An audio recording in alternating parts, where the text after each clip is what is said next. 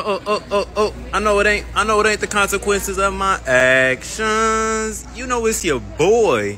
Safety is our top priority, so if you're lifting heavy by yourself, make sure you're within the rack. That way, if you do have to miss, you can set it down on the safety pins like this. But I also know not everyone has that kind of squat rack, so this is how you safely miss by yourself.